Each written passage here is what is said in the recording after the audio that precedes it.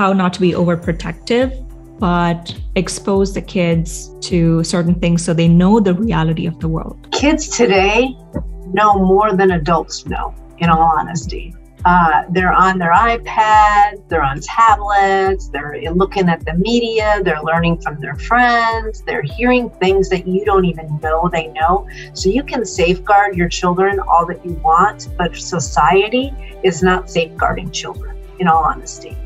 And so, if you want your children to know something, you should be the one to tell them before their teacher or before their friend tells them or before the iPad or the game or the TV movie tells them social media has causing incredible damage. As, as great as social media has become, mm-hmm. as great as technology has become, it's also been very devastating for our youth as well.